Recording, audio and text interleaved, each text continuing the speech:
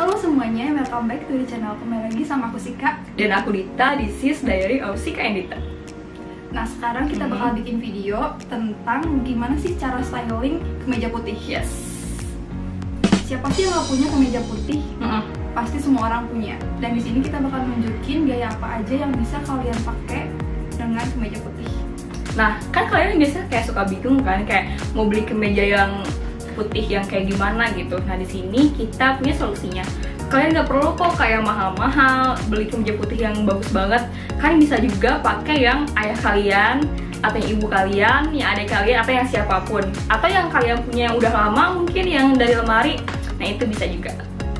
Kalau orang bilang, eh pakai kemeja putih yuk. Hmm. Itu tuh kesannya tuh kayak kaku, banget Aku, gak sih? terus kayak formal. dan boring banget gitu. Mm. Nah di sini kita bakal nunjukin gimana sih cara stylingnya untuk Yes elevate your look.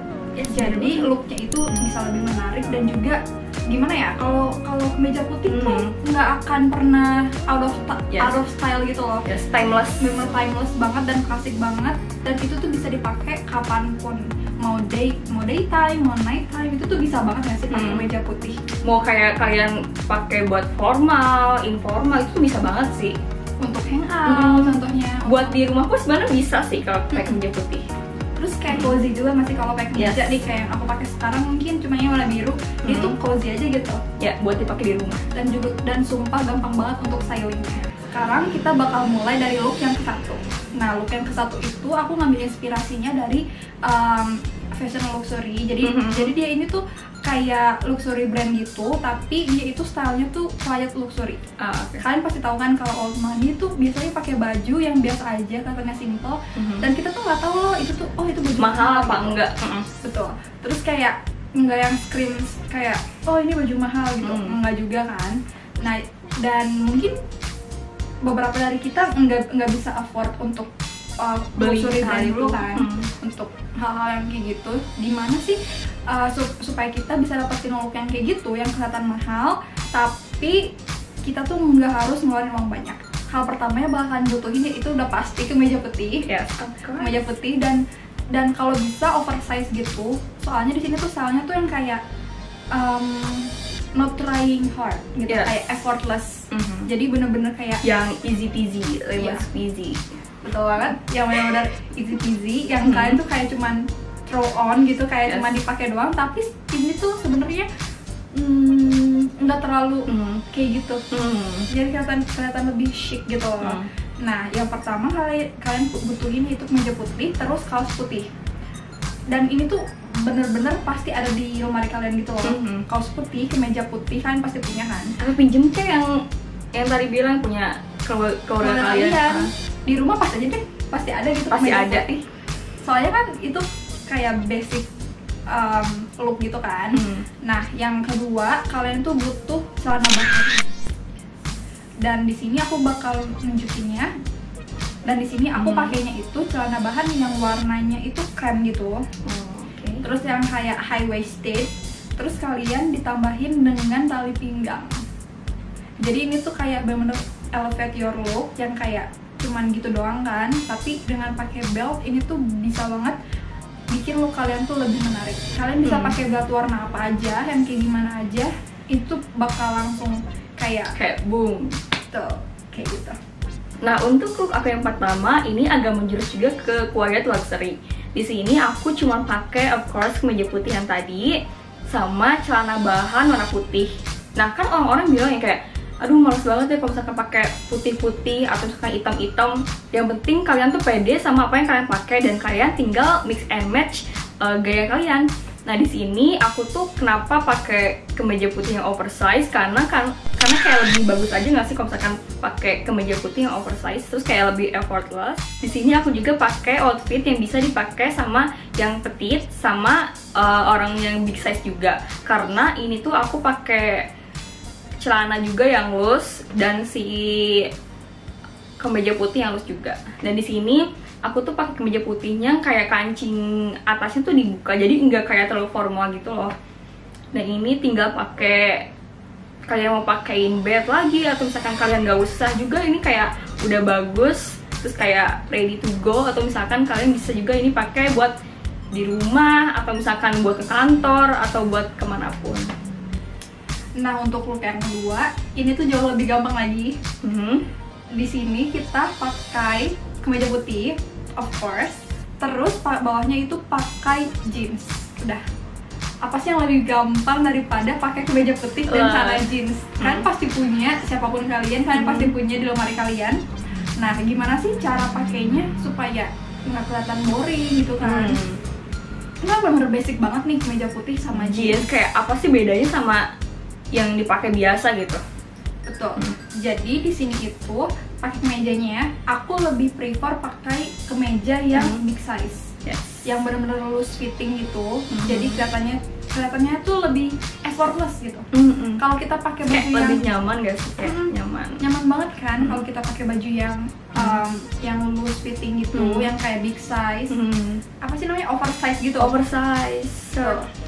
Kalau kalau kita pakai oversize tuh lebih nyaman yang Hmm. pertama terus kan Hmm. lebih gampang untuk bernafas gitu kan Hmm. terus nyaman aja gitu untuk melakukan Hmm. aktivitas sehari-hari tuh gampang gitu kan kayak nyaman aja terus pakai jeans itu kan gampang banget Hmm. gitu kan nah di sini ak- aku bakal nunjukin gimana sih cara ganti look dari daytime ke nighttime di sini aku tuh pakainya mom jeans jadi dia itu jeansnya itu basically kulot kulot jeans gitu itu kayak rip gitu Ya, oke. nah jadi itu tuh kesannya tuh lebih casual dan kamu Hmm. tuh orangnya tuh terlihatnya lebih santai nah untuk nighttime-nya aku pakai heels warna hitam Ah, jadi eh, pertama langsung beda.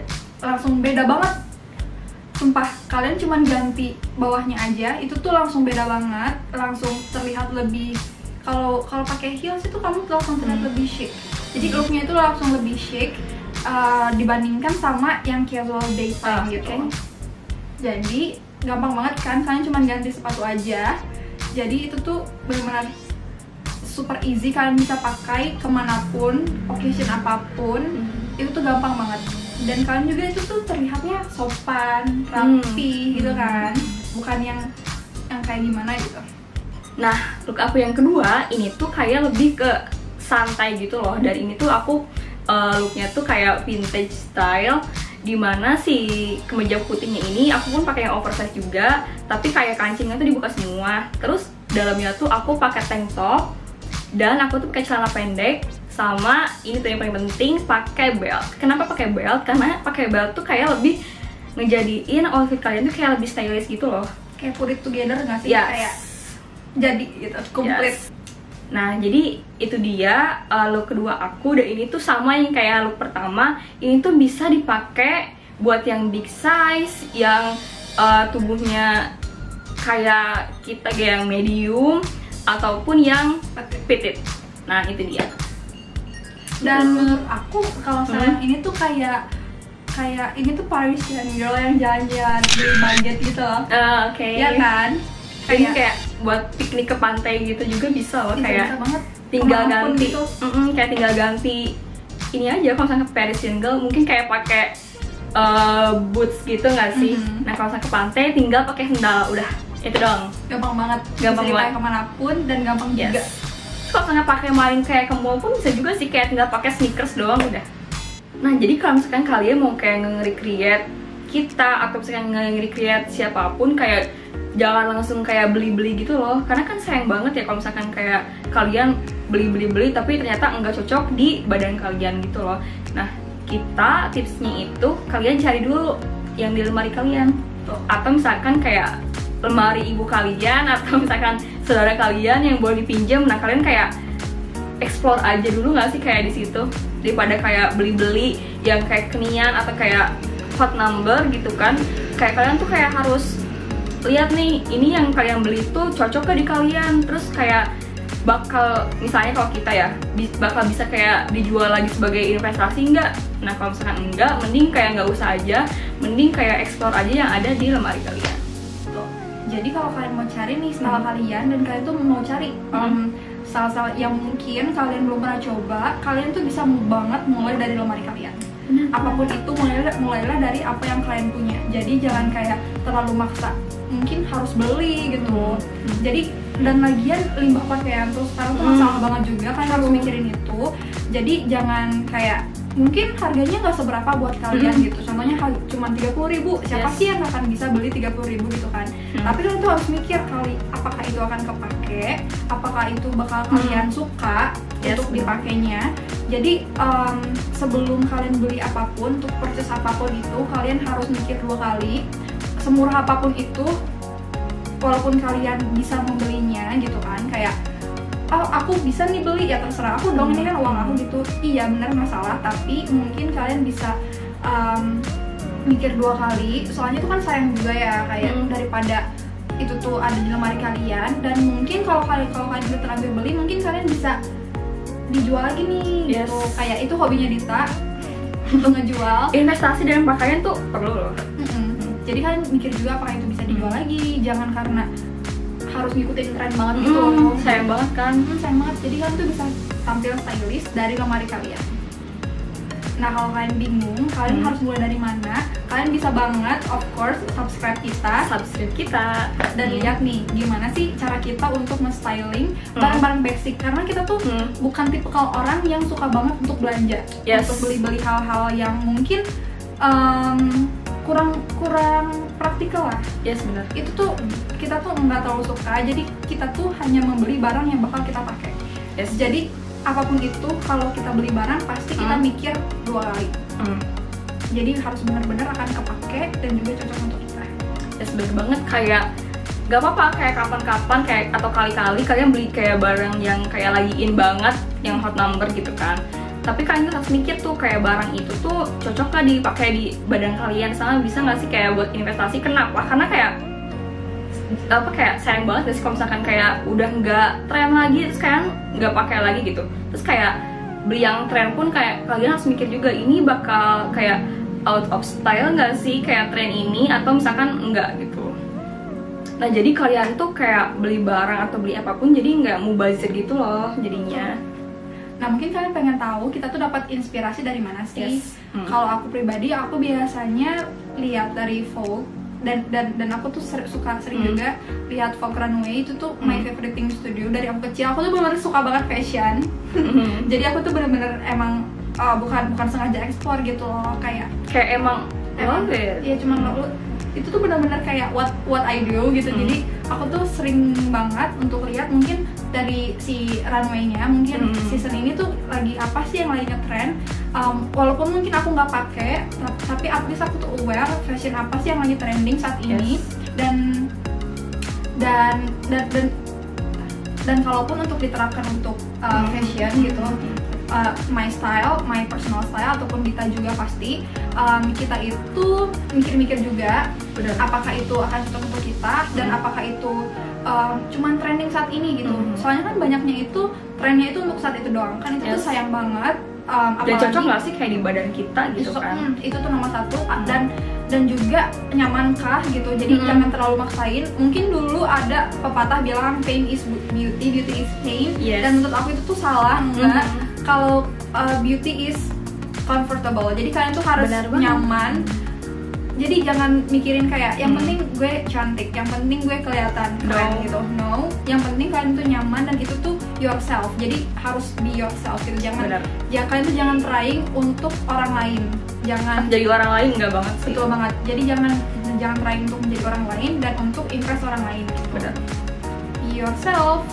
Love yourself. Yes, bener. Nah, aku juga sama kayak Sika. Vogue dan Vogue Runway itu kayak kayak aku pun di sana tuh kayak wow gitu kan. Nah, selain itu kalau misalkan kayak personal orang itu kalau kita ya dan kayaknya kita kayak hampir sama gitu loh kayak kalau misalkan fashion misalnya kayak yang kalian tahu kendala gender itu tuh kayak effortless, Mhm. chic, terus kayak ya udah kan kita tuh bisa apa ya bisa recreate pakaian dia juga gitu karena dia tuh nggak terlalu yang kayak pakai misalnya dia pakai uh, Gucci tapi nggak terlalu kayak Gucci gitu ngerti nggak Iya, sih iya. kayak terus kayak Irene Kim, Kiko Mizuhara dan itu kayak bener-bener kayak sih kalau kita kayak biasanya kayak look up ke sana Tuh. itu tuh benar-benar our favorite girl pose ya Mhm. jadi kayak ya kita Hmm. nyari inspirasi dari mereka Mhm. Dan of course yang paling pertama kita pasti mulai dari lemari kita yes itu dan kita sih tuh nggak maksain yang paling gampang yang paling gampang Nah, jadi segitu dulu untuk video kita untuk hari ini. Thank you for watching and see you on the next video. Bye.